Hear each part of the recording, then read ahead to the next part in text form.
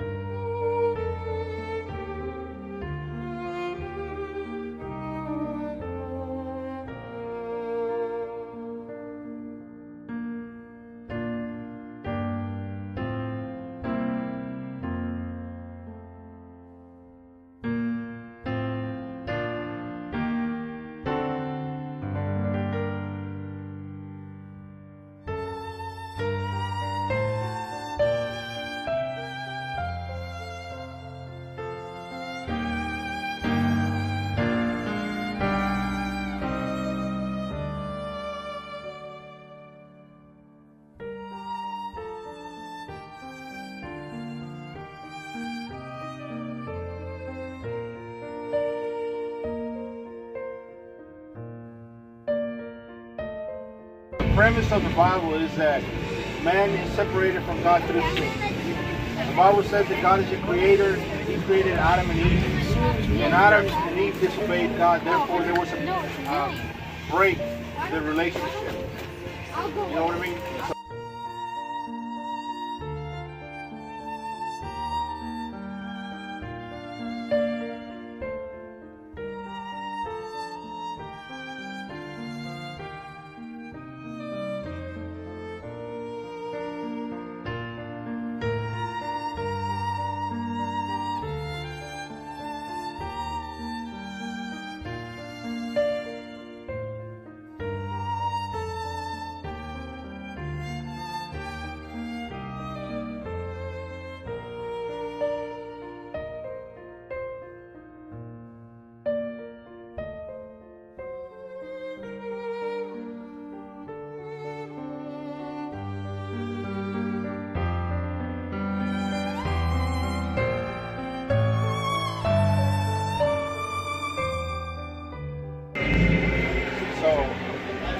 Think, hard.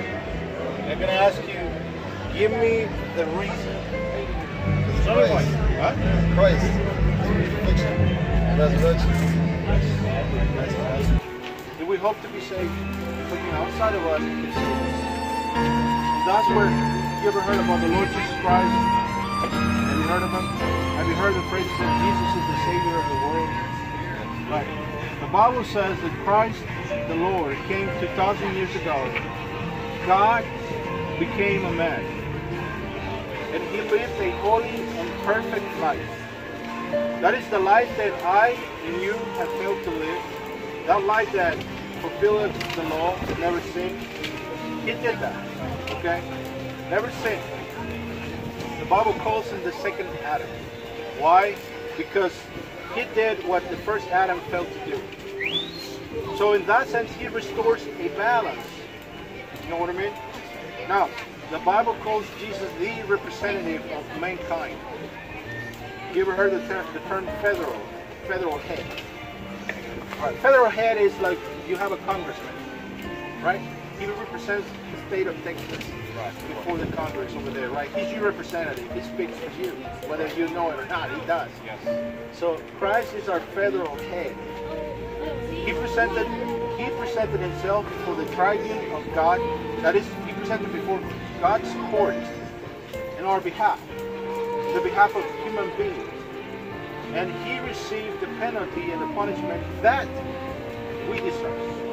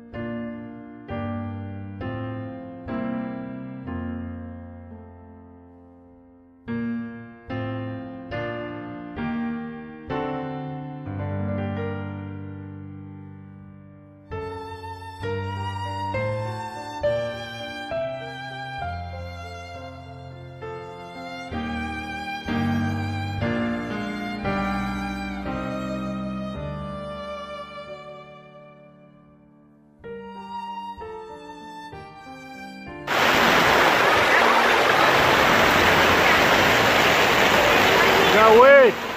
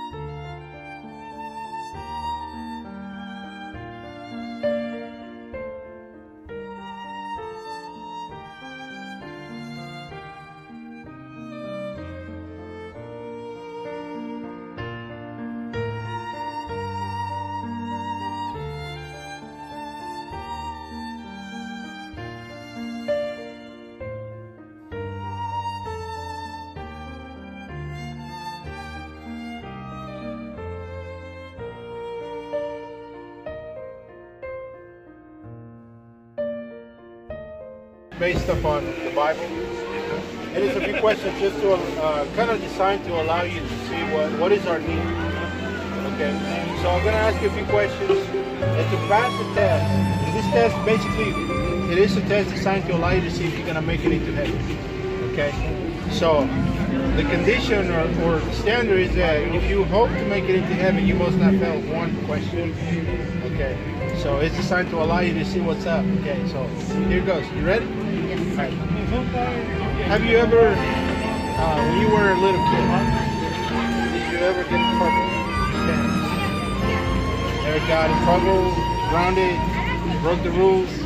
No, I was abused by my mother, Oh, really? so I never was a kid. Really. I'm so sorry. Alright, let me ask you another question. Have you ever told a lie? Yes, How about this one? You know, sometimes how we have it an expression, oh, we say, oh my we say the name of God. oh my God, yeah. I'm always saying that. That's the, the commandment says, you should not use the name of the Lord your God in vain, for I will not hold them guiltless, them who misuse my name. That's what, what the Bible says. So that's called blasphemy. So we already got two questions, three questions, and uh, so see, you, you failed. Right? If I continue, we'll probably find more, right? What's the point? The point is this. The point is that all of us, all of us have sinned against God. Catholic religion, you that it's not against not against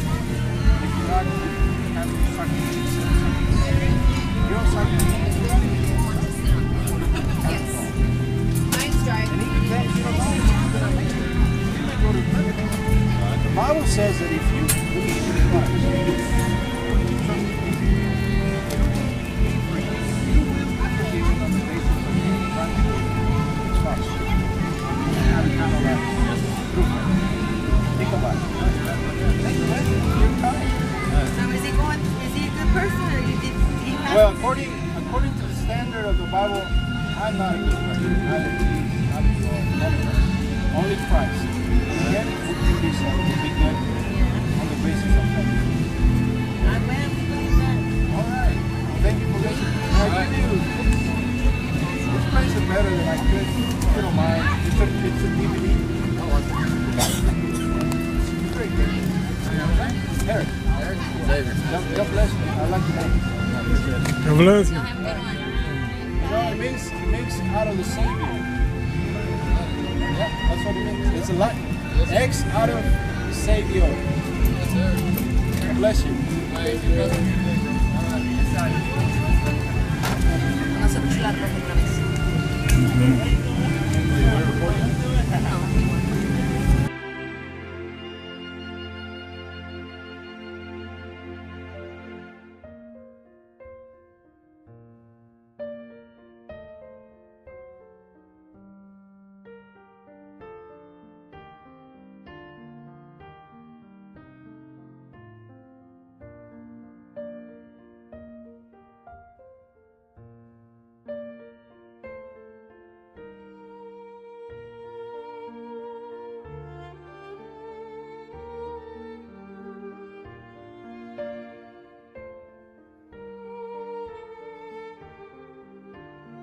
Broken the law of man. and you break the law of man, you commit a crime that deserves the penalty of death.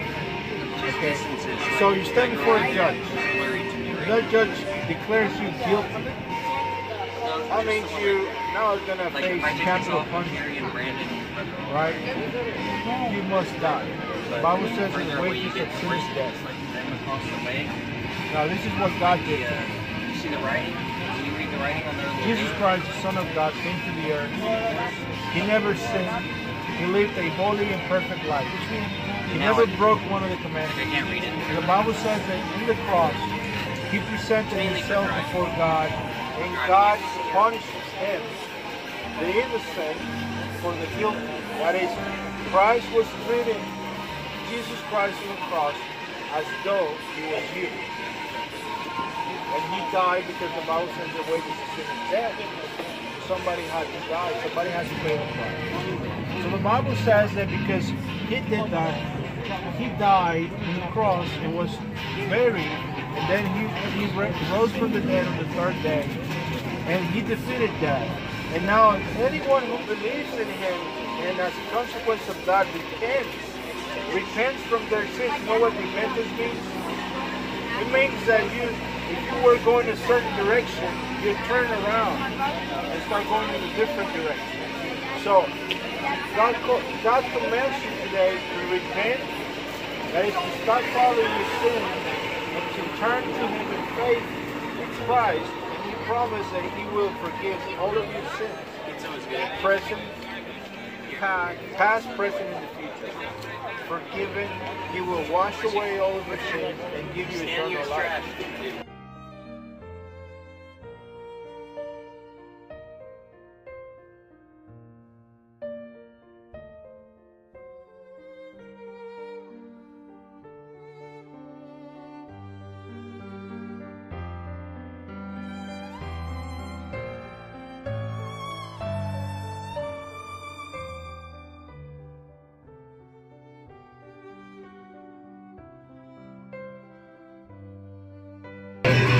So, you can have eternal life by believing in Jesus Christ. And He paid for your sins. He paid for your sins and rose from the dead. And if you believe that, the Bible says that God will forgive all of your sins. You confess your sins to God and ask God to forgive you, not because you deserve it, but because Jesus Christ, the Son of God, died on the cross.